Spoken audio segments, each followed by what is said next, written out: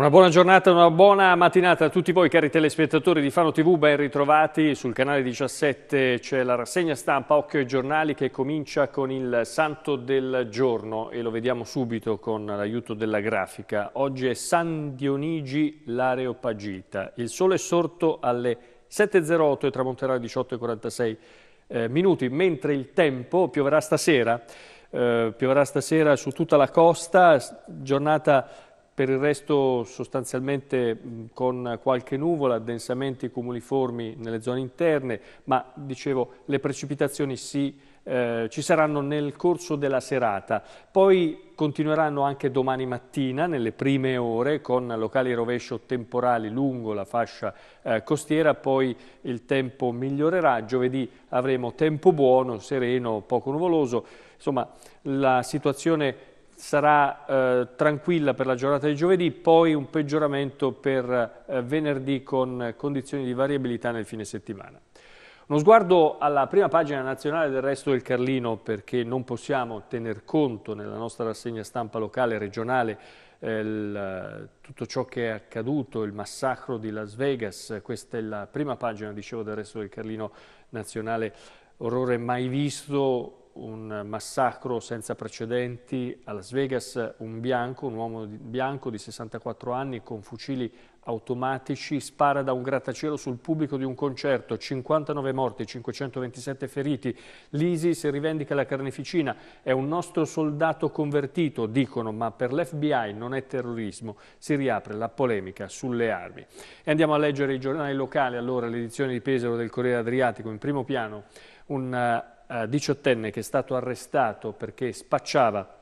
davanti alla uh, scuola il blitz di Polizia di Stato e Finanza ha arrestato uno studente del Mengaroni. Poi la notizia che resta in carcere il pesarese eh, che è stato arrestato mh, durante gli scontri al G7, è stato convalidato l'arresto a Torino, il padre riesce a parlarci. E poi altre notizie sempre in primo piano come lo sport, la VL è piaciuta e con Little è più, eh, in più andrà anche meglio. Mentre eh, la pagina del Carlino di eh, Pesaro, la fotonotizia è per la burocrazia pazza, l'asilo estivo, la retta trattenuta due volte, i vigili vanno all'Unione e buttano via centinaia di bollettari delle multe mai usati, tutto questo perché hanno cambiato, la Polizia di Pesaro ha cambiato il logo. È uno spacciatore artistico, confezionava le dosi in classe, blitz della Polizia alla Mengaroni, poi il processo, si parla dello stupro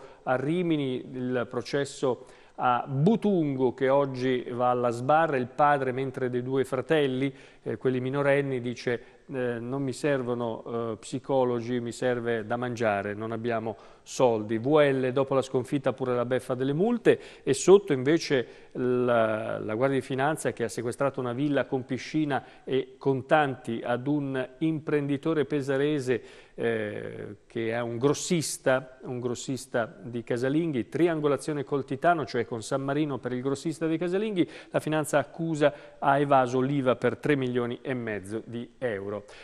Da Fano invece la notizia che è arrivata ieri, ieri, pomeriggio, nel tardo pomeriggio intorno alle 17 dal quartiere di Centinarola dove un bambino è caduto dalla bicicletta e si è tranciato un dito, eh, paura a Centinarola, il 118 allerta l'eliambulanza per il trasporto all'ospedale regionale di Torrette di Ancona dove potrà riattaccare la falange e l'equipe di chirurgia ricostruttiva diretta da uh, Michele Riccio che tra l'altro ha al suo attivo interventi coronati da successo per riattaccare intere mani tranciate, quindi è un'equipe un eh, di primissimo piano, di, primissimo, di altissimo livello.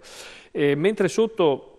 la protesta di una mamma, di un malato psichico che cerca un lavoro per suo figlio, mentre eh, di questo se n'era interessato anche Riccardo Borini, il coordinatore dell'ambito sociale,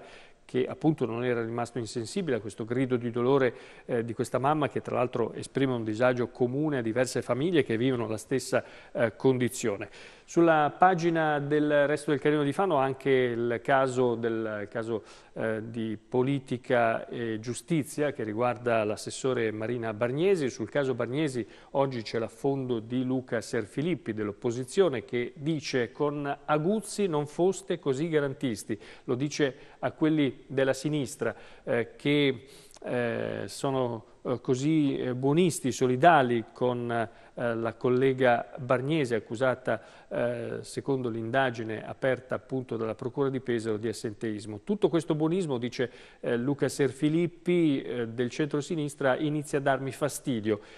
e si domanda poi se il primo cittadino, cioè il sindaco Massimo Seri, sapeva di questa inchiesta e perché, se sì, l'ha nascosta alla città.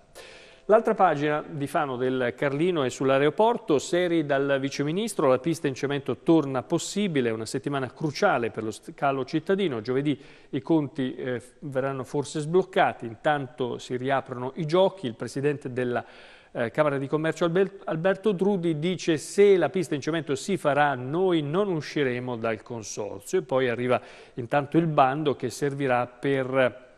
eh, per eh, gestire la gestione eh, appunto dell'aeroporto. La pagina di Fano del Corriere invece in primo piano le parole del, del, del vice sindaco e assessore al turismo Stefano Marcheggiani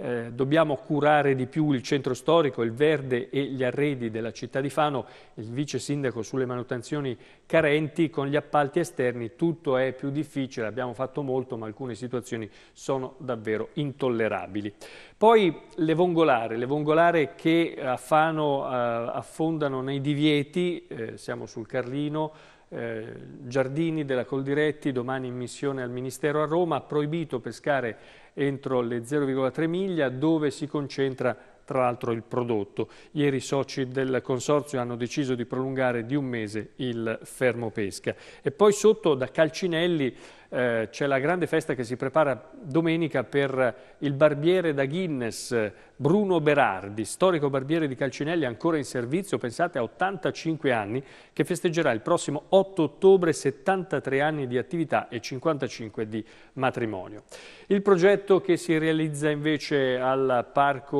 urbano, il comitato eh, Bartolagi ricorda ora ricorda la visione del compianto fondatore Lucio Polverari che tanto eh, si è battuto negli anni eh, per la realizzazione di questo parco. E poi sotto invece è stato condannato a otto mesi, eh,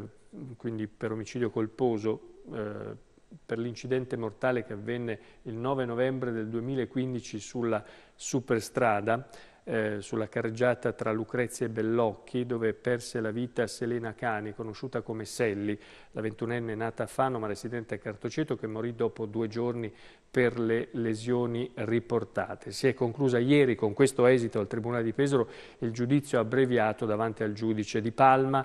eh, e, ed è stato condannato appunto ad otto mesi di reclusione per omicidio colposo ma con pena sospesa questo giovane che eh, causò questo incidente. Ricorderete Selli, questa ragazza di 21 anni, si era fermata con l'auto in panne appunto sulla, sulla, eh, sulla, sulla strada eh, e purtroppo mh, rimase dentro l'auto eh, e fu centrata in pieno da questo, da questo automobilista. Andiamo adesso a Cerasa, torniamo sul resto del Carlino, eh, perché i pensionati di Cerasa sono contro lo smantellamento della filiale e dell'unico bancomat che hanno in eh, paese. Giù le mani dalla nostra banca, questo è il titolo, lo sportello della ex Carifano in via Vittorio Veneto lungo la Orcianense, è l'unico a Cerasa in cui vivono circa mille eh, persone. E poi eh, da Fossombrone, sindaco, ora fermi i lavori alla REMS. Fossombrone, dopo la notizia dell'ingegnere che è indagato, eh, il comitato va alla carica, la questione è delicata, non possiamo permetterci di fare passi falsi.